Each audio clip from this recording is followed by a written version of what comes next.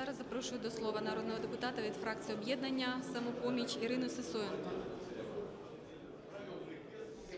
Шановні українці, е, звертаюсь до вас, тому що вчора почався старт медичної реформи по всій Україні, і по суті почалось впровадження першого етапу реалізації закону, який був прийнятий парламентом про медичну реформу в нашій державі. Як почалась робота? Справді сьогодні Україна е, залежить е, великої кількості можливості по реалізації тих чи інших законів від позиції та роботи органів місцевого самоврядування. Величезна кількість повноважень та відповідальності сьогодні перекладена на місця на регіони. І те, що стосується медичної реформи, зараз надзвичайно важливим є робота уряду, Міністерства охорони здоров'я у співпраці з органами місцевого самоврядування, з мерами міст, з міськими депутатами. Основною задачею є початку першого етапу впровадження медичної реформи забезпечити кожного лікаря, сімейного лікаря, терапевта, педіатра можливостями для того, щоб можна було укладати електронні декларації з пацієнтами. Якщо лікар не має комп'ютера, якщо в медичному закладі, де працює лікар, немає інтернету, якщо немає інформаційної системи, яка сформована і працює разом з електронною системою охорони здоров'я центрального органу виконавчої влади, відповідно, жоден лікар на тій чи іншій території не зможе технічно укласти договірні відносини з своїм пацієнтом. І це саме зараз є величезним викликом.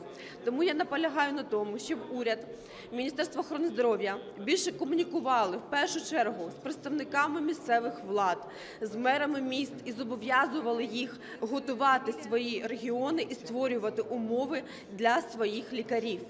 Друге, дуже важливе питання. Величезна кількість запитань, яка зараз існує у українців по всій території України.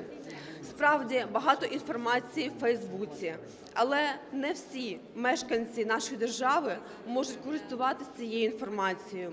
Дуже важливо пояснювати і роз'яснювати, як буде працювати медична реформа, і як, наприклад, е, людина, яка є пенсійного віку, яка обмежена доступом до інтернету, може звернутися до свого сімейного лікаря, укласти з ним договір та далі безпосередньо звертатись за медичною допомогою. Оці всі питання потребують серйозною роботою комунікаційної, яку має вибудувати належним чином Міністерство охорони здоров'я, не лише використовуючи Фейсбук. І також третє надзвичайно важливе питання.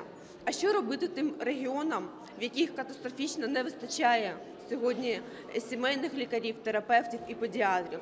Тож зараз саме на старті медичної реформи і уряд, і влада має вирішувати це надзвичайно важливе питання, щоб все ж таки не лише в великих містах України можна було знайти сімейного лікаря, а й в тому числі, щоб в селах, в районах також була необхідна кількість таких медичних працівників, з якими пацієнти будуть укладати договірні відносини.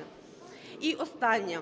Сьогодні е, народні депутати фракції об'єднання самопоміч ми подали законопроект, який скасовує пільги з народних депутатів України на безоплатне медичне обслуговування. Ми вважаємо, що так само і народні депутати України мають бути рівні з усіма громадянами нашої держави, і так само йти обирати свого сімейного лікаря і допомагати уряду і владі впроваджувати ефективно медичну реформу.